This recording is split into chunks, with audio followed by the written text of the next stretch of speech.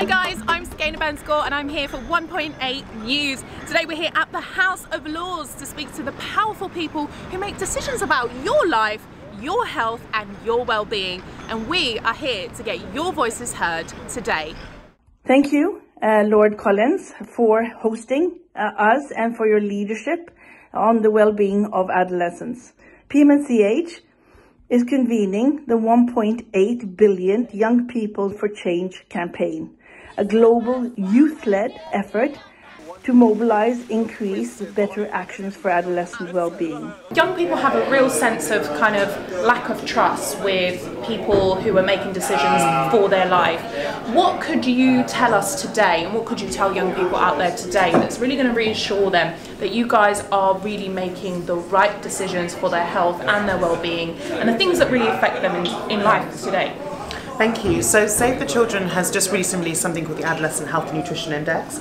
And the purpose behind this piece of work is to really identify how far our country is going really to support adolescents and young people. So we've looked at you know, health nutrition indicators and gender indicators across 75 lower middle income countries and also looked at what are the policy and financing provisions in these countries. So if you're a young person out there and you're keen to advocate for yourself, please join our index, go online and look at it and find out what is your government doing in your country to support you to meet your health and nutrition needs. And hopefully you can also provide feedback to us. Don't laugh at this, but the Youth Forum for Parliamentarians is for people, for members of Parliament who are under 45. Now, but there's, there's a serious reason for that, and that's because whilst over half the world's population is under 30 years of age, only 2.6% of legislators are under the age of 30. How do we politicians and policymakers ensure that our actions actually reflect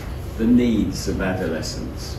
My answer might sound very simple, but at the same time it's quite uh, complicated. At the same time, uh, ask them, ask adolescents and young people what they want, what they want for their health and well-being. Um, and although this sounds very simple, I think that the, the context and, and how to achieve this might not be so simple because I think that one of the gaps that we have when it comes to asking young people what they want is being inclusive in who is res responding to these questions.